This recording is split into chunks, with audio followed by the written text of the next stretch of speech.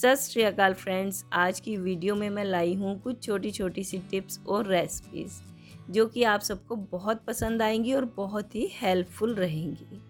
Friends अगर आप मेरे चैनल पर नए हैं तो इसको सब्सक्राइब ज़रूर कर लेना और साथ ही जो बेल आइकन आएगा ना, उसमें ऑल वाले बटन को ज़रूर प्रेस कर देना। तो फिर वीडियो शुरू करते हैं। आज मैं सबसे पहले बना रही हूँ क्यूमिन वाटर जीरा वाटर बहुत इफ़ेक्टिव है। एसिडिटी में गैस में अफारा हो जाता है। कई बार कुछ खाया पिया हजम नहीं होता ना, उसके लिए बहुत ही इफ़ेक्टिव है। अगर डायरिया हो गया है, उसमें भी इफ़ेक्टिव है।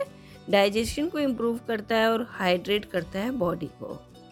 और सबसे बड़ी बात, ये वेट लूज़ करने में भी बहुत इफ़ेक्टिव है।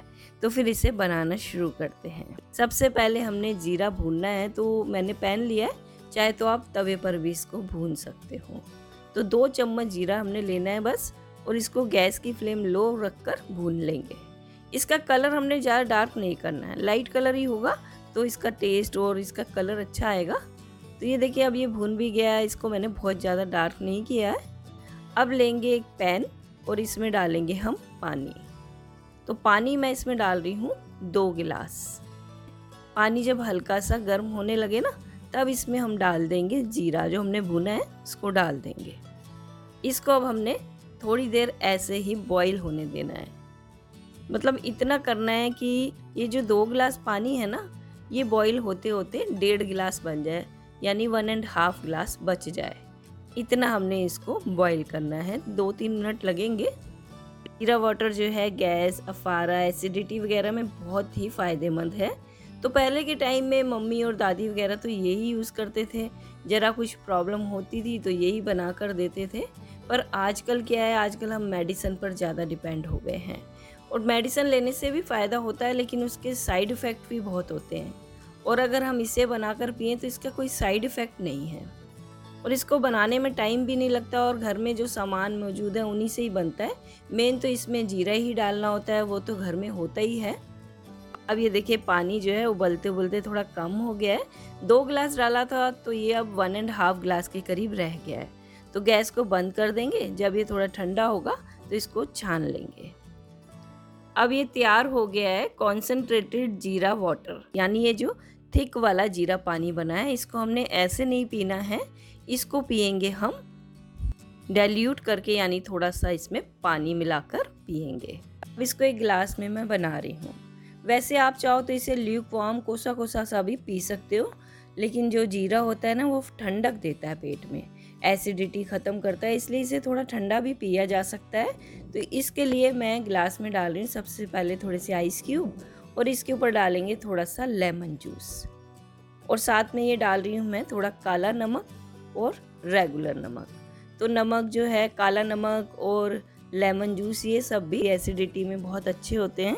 और वेट लॉस करने में भी बहुत इफ़ेक्टिव होते हैं। अब इसमें मैं डाल रही हूँ जीरा वाटर तो पूरा नहीं डालेंगे क्योंकि ये काफ़ी थिक है। तो ये देखिए मैंने इतना डाला है। अब इसमें सादा पानी डाल देंगे या फिर आप इसमें सोडा भी डाल सकते हो। सोडा वाटर जो आता है ना, वो भी डाल सकते हो। दोनों में से कुछ भी डाल सकते हो।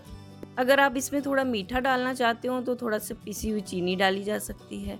और वेट लॉस के लिए पीना चाहते हो तो आप इसमें हनी डाल सकते हो। तो ये हमारा जीरा ड्रिंक बनकर तैयार हो गया है।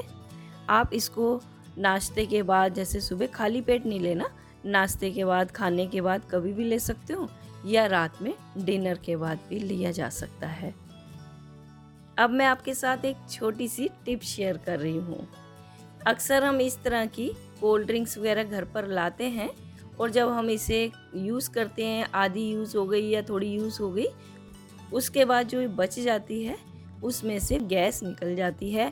वो पीने में भी नहीं अच्छी लगती, ऐसे लगती है जैसे कोई कलर्ड मीठा पानी सा पी रहे हैं।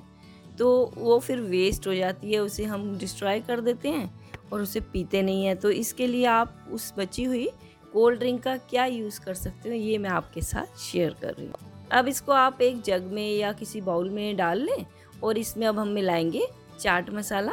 थोड़ा सा मिला रही हूँ, आप अपने स्वाद के अनुसार मिला लेना। थोड़ा सा काला नमक भी डाल देंगे।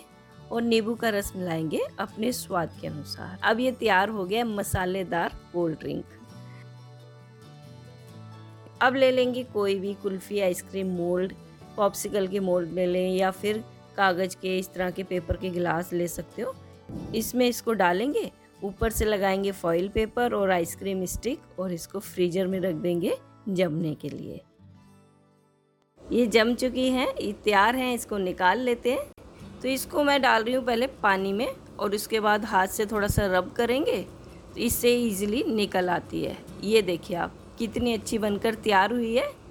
ये तैयार हो गई है मसालेदार कोला पॉप्सिकल और इसको हमने बनाया है बिल्कुल वेस्ट हो चुकी कोल्ड ड्रिंक से। ये टिप है अनार पॉमी को लेकर।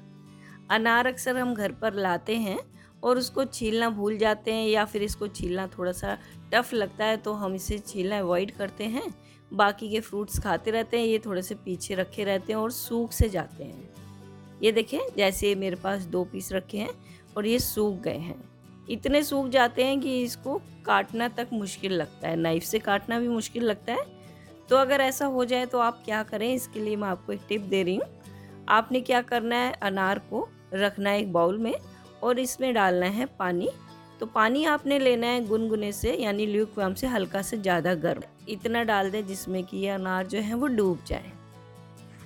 ऐसा करने से क्या होगा? इसकी जो स्किन है ना, वो थोड़ी सी सॉफ्ट हो जाएगी, जिससे हम इसे काट पाएँगे और अंदर जो इसके दाने हैं, वो भी सॉफ्ट हो जाएँगे, आराम से निकल आएँगे। पाँच मिनट मैंने इनको पानी में रखा है, अब निकाल लेते हैं।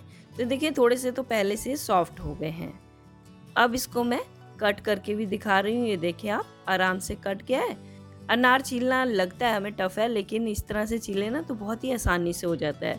तो देखिए, आपने जहाँ जहाँ इसमें आपको दिख रहा होगा थोड़ी थोड़ी दूर पर इसमें हमने इस तरह से कट लगाना है, नीचे तक नहीं काटना है, और इस तरह से ये सेंटर में इसका जो वाइट पार्ट है ना, इसे निकाल देंगे। इस पर टैप करेंगे इस तरह से। देखिए, सारे दाने निकल गए हैं। आप चाहे तो अनार को बीच से दो टुकड़े करके फिर टैप करें, तब भी आसानी से दाने निकल आते हैं। तो बहुत ही आसान रहता है और ये देखिए, आप मैंने सूखे हुए, दोनों अनार सूखे हुए थे, उससे बड़ी आसानी से दाने निकाल लिए हैं। तो ये बहुत ही अच्छी टिप है। फ्रेंड्स, कैसी लगी आपको आज की ये वीडियो? अगर पसंद आई है तो आप इसे लाइक और शेयर ज़रूर कर देना। साथ ही अगर आप मेरे चैनल पर नए हैं तो इसको सब्सक्राइब करके बेल आइकन को भी प्रेस कर देना। मिलते हैं अगली बार एक नई वीडियो के साथ। खुश रहें, स्वस्थ रहें। Thanks for watching